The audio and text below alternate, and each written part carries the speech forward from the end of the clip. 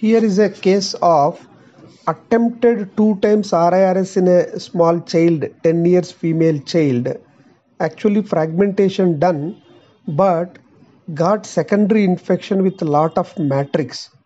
Ultimately, when CT is when ref case referred after the RIRS to us, when we have seen the PCS, it is filled with matrix type of material like this with multiple small stones these type of stones again attempting RIRS is futile and it is very difficult when there is a matrix component with small stones. So we have uh, uh, prepared mentally for the PCNL only.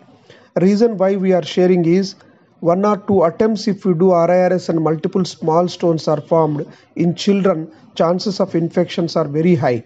So here directly we attempted supine PCNL so when matrix is there, water will not come. Only guide wire has to pass and see. Luckily, guide wire has gone into the ureter, and edematous tissues will be there. So dilatation should be careful as much as possible. Up to 20 French dilatation is better. Mini perc is not advisable. See when we go inside, lot amount of matrix is there. This is all sucked out with suction tube.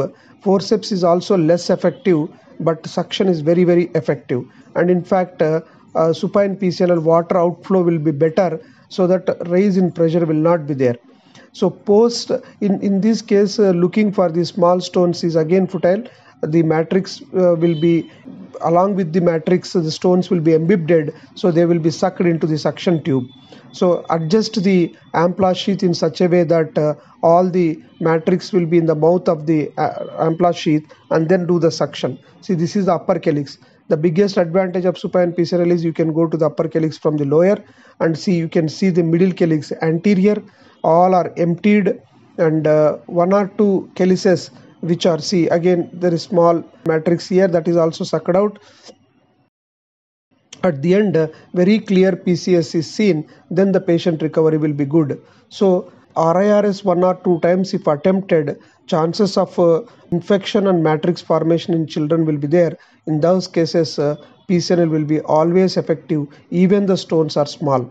Thank you.